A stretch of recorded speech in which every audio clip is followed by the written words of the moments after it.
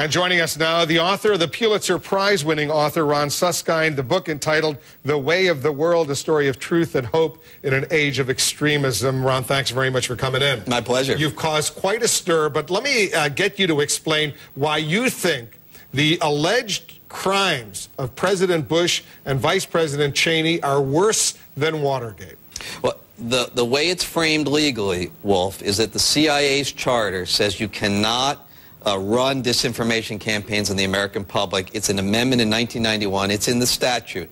So that if uh, ultimately in congressional hearings and whatnot, as they go forward, and there's talk of that in Congress now, if they're able to show that the White House directed the CIA, as I show in the book with lots of testimony, that the CIA was directed by the White House to do this disinformation campaign on this letter, there will be issues of legality that will be debated uh, uh, in terms of high crimes. And what you report in the book is that George Tenet, the then CIA director, was at the White House. Uh, after the war started, he was directed to go back to the CIA and forge a letter from the uh, former head of Iraqi intelligence alleging that Mohammed Atta, one of the 9-11 ringleaders, uh, was directly involved with Saddam Hussein and Iraq, which was a lie. Absolutely, and also that Saddam was actively buying yellow cake from Niger with the help of al-Qaeda. That's the Habbush letter. It popped up publicly. Habbush was the former uh, Iraqi intelligence. Exactly, and it popped up publicly. Tom Brokaw, William Safire, they all read stories or talked about it. And what's interesting is that that letter comes at the end of 2003 after all of the explosions Joe Wilson, Valerie Plame during that year. And, um, and the testimony of those involved in this book, and there's much of it in the book, on the record, much of it taped, is that George Tenet came back from a briefing at the White House. He had it in his hand, a essential mission sheet, a memo, which said the CIA would carry forward the Habbush letter. Uh, Rob Richer remembered talking to Tenet for, about it. A former CIA I'm sorry, officer? yes, top official at CIA. Uh, used to be a, a, deputy head of clandestine service, head of the Mideast or Near East Division. He remembers talking to Tenet about it. He also talked to John Maguire about it, who's also in the book, head of Iraq for the All CIA. Right. Let's let's hold off for a second. Here's what George Tenet says, because this is a very specific charge that you make. He was at the White House. Someone at the White House told him to get a letter forged making this alleged connection between Al Qaeda and Saddam Hussein. Uh, Tenet says there was no such order from the White House to me, nor to the best of my knowledge was anyone from CIA ever involved in any such effort. Who ordered him to do so? In the book, it says simply, it comes from the White House. There is some speculation in the book by Rob Richer as to where things were coming from at that point. But the specificity of the testimony in the book, and there's a lot of it, is that it came from the White House, and frankly, at the White House, nobody except senior-most officials give this sort so of order. in terms of a specific person at the White House, you don't know who allegedly ordered uh, George Tenet to forge this document? What's in the book is direct testimony from the participants, and that direct testimony says from the White House, and frankly, no one except senior-most officials at the White House would give George Tenet an order certainly like this. Who, why would he deny that flatly, uh, George Tenet, uh, as he does in this statement? Well, what he says, to the, the best of my knowledge, I'm not sure what's going through George's head, frankly. No, he says there was no such order from the White House to me. Right, right. To the best of my knowledge. Uh, nor, to the best of my knowledge, was anyone from CIA ever involved in any such effort. Okay, now, now the fact is, is that what I dealt with were the people who were actually involved directly in this situation.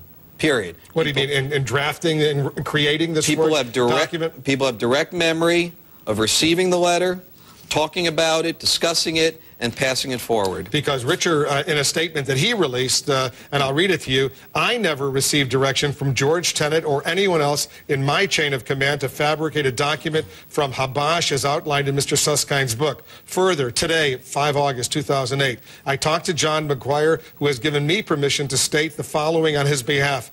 I never received any instruction from them Chief NE Near East Rob Richer or any other officer in my chain of command instructing me to fabricate such a letter. Further, I have no knowledge to the origins of the letter and as to how it circulated in Iraq. Okay, uh, that is in accordance what Maguire says with what is actually in the book.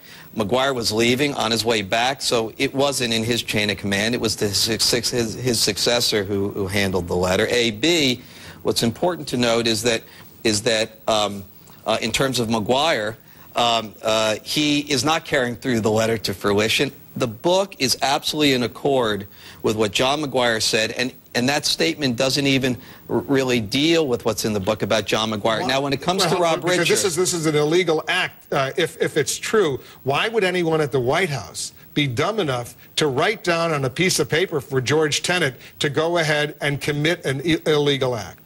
At this point in the history of this White House, uh, frankly, Wolf, uh, I'm not sure how you can even ask that question. There's a lot of things that happened in this White House over this period that people look back at and say exactly what were they thinking. In this case, the reason it's in the book, as it is, is from hour after hour of direct testimony from people who had firsthand knowledge of the situation. Otherwise, it wouldn't be in the book among the many disclosures that's why it's there. Now, mind you, the reason the White House is so interested in this one disclosure, it's like a bridge between the CIA and the White House. And if that bridge isn't blown, there will be consequences, legal consequences potentially. And that's why their focus is really solely on that, not in the many other disclosures in because, the book. because potentially this is a, this is a crime. Another explosive uh, allegation or, or, charge in the book is that uh, the President of the United States knew for sure, based on what the head of Iraqi intelligence, who was working with the U.S. secretly, right. we paid covertly, $5 million, right? uh, that there was absolutely no stockpiles of weapons of mass destruction in Iraq. Yet the President of the United States used an expletive, according to your book, and said, we're going to war anyhow. Uh, I never say the president knew by virtue of Habbush, the Iraqi intelligence chief, meeting with the British and essentially the British and the Americans for his information. What I show in the book is that the case for war was already a rickety structure by early 2003 in January when Habbush... And the war started in March. In March. The Iraq intelligence chief arrives. We handle a secret mission. We conduct the Brits are the point of the spear. We set it up. And he meets again and again with the, the British intelligence leader, chief, and they talk it through, many meetings, many phone calls. What does Habbush say in January of 2003? He says there are no weapons of mass destruction. Now, there's debate in the CIA. Can we verify it? Is it denial and deception? All that's in but the that's book. That's what the Iraqis were saying publicly uh, at the time. I remember interviewing Tariq Aziz, the deputy prime minister. He said they didn't have any weapons of mass destruction. Why would they believe the Iraqi intelligence chief? Because he was saying secretly to the U.S. what Iraqi leaders were saying publicly. Well, you know, he was certainly a more credible witness by far than anyone who had spoken publicly or privately to the United States. He is their intelligence chief. He himself oversees whatever the biological program would be in the country. That's the way it works there. As well, he is in a secret back channel mission with us to inform us. Now, what's interesting about it is it's not just his information that there's no WMD. It's also, and Richer talks about this, Maguire too, and others, he gives us the mind of Saddam Hussein, something we really didn't understand. The British talk about this too because the British head of intelligence and deputy because head of intelligence. What, what Tenet and the others are saying now is they say, you know what, uh, he didn't have any evidence to back up what he was saying that there were no stockpiles of weapons of mass destruction. Well, Richer deals right with that question in the book, because of course I asked him. He said, well, the problem was is that we essentially have Habbush having to prove the negative prove that weapons he says don't exist actually don't exist. He says we weren't very strident in helping him prove that point.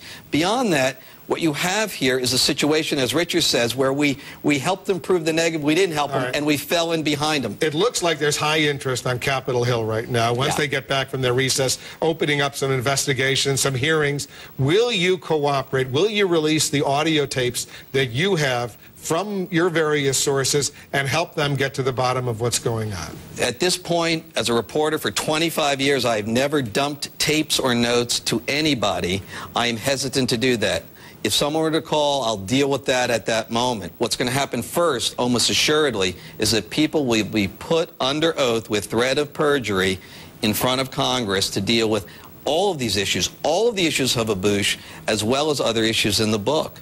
And, and uh, uh, if you're subpoenaed to make all your documents and stuff available, what do you do then as a reporter? Well, you know, you first you talk to your lawyers and say, what should I do? And then you look at the, the broader national interests of the country, I suppose. Uh, you know, the, the question I have is some of these people are now questioning your integrity, your reliability as a journalist, but you say you have the audio tapes to prove what you, what, what you wrote in this book. Isn't, isn't it, wouldn't it be in your inclination to just go ahead and release these audio tapes and say, you know what, Here's, here's the evidence. I have worked with confidential sources on the record, off the record, for many, many years, and I have always hesitated and still hesitate to ever dump tapes. I deal with many people and background information, all sorts of things. I simply don't want, and understandably as a reporter, people to go into, uh, into, that, into that closed room. Based on everything you know, should the president be impeached? Based on everything I know, based on the evidence in this book and the direct testimony of people involved in many, many instances, there, I believe, should be further investigation with the powers of government, subpoena power, congressional authority, which is something people have been asking for for a very, very long time. Ron Suskind is the author of The Way of the World, a story of truth and hope in an age of extremism. Ron, thanks for coming in. My pleasure.